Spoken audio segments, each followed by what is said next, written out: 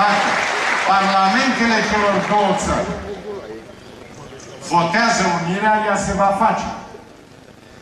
Dacă poporul român din stânga și din dreapta Nistrului va vota într-un referendum unirea celor două țări, ea se va face. Deci avem două variante politice. Iar responsabilitatea inițierii dialogului pe această temă o are București.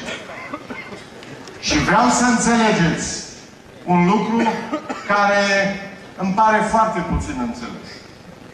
Mulți spun, ce să ne mai legăm la cap și cu Republica Moldova. Iar eu vă spun că este în interesul României, nu numai al Republicii Moldova, unirea celor două țări. Și din punct de vedere strategic, și din punct de vedere al capacității de a fi un mare producător agricol, și din punct de vedere al capacității de a avea o repartiție financiară mai mare de la Uniunea Europeană și din punct de vedere al capacității de vot pe care ar avea o România în interiorul Uniunii Europene datorită unei populații mult mai mari. Și n-aș mai enumera și alte avantaje pe care le-ar avea România și nu numai Republica Moldova dacă acest lucru s-ar produce.